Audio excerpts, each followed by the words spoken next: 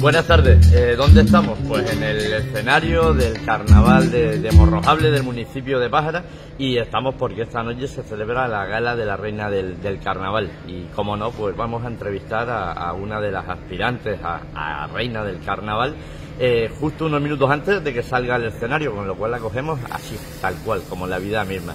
Eh, hablamos de Yamina Almeida Afonso, que ella nos va a contar pues con qué nos va a sorprender y a quién representa. Buenas tardes, Yamina. No sé todavía quién represento, eh, sé que el traje es muy bonito, eh, a mí me encantó, eh, magnífico por decirlo así, y nada, con mucha ilusión y pues a darlo todo, a pasármelo bien y a vivir lo que a uno le gusta que es el carnaval. ¿Te pone nerviosa el saber que a lo mejor llegas a ser reina del carnaval, que vas a estar un año después de, de con esa, esa diadema, esa corona de, de, reina aquí, todo el mundo te va a saludar por las calles, ¿te pone nerviosa eso?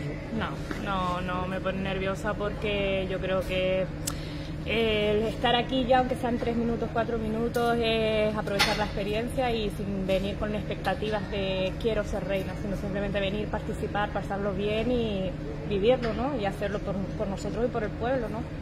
El traje te va a costar mucho el, moverlo, lo llevas bien, tú eres chiquitita como yo, o sea que ya me contarás.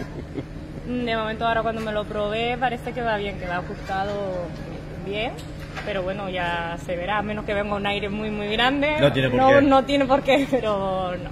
Eh, a mí me gustó, está bien adaptado y suerte, simplemente hay que creer en la suerte. Qué bueno, pues nada, a ver si el jurado hace, hace juicio, juicio bueno, y ya les digo, con, con nosotros esta candidata gala de la reina del carnaval de, de, Morrojable, y que dentro de un ratito veremos desfilar por este escenario ya con luces, colores y demás, una vez que se nos meta el, el solito. Eh, muchas gracias y continuamos, continuamos con la, con la siguiente candidata.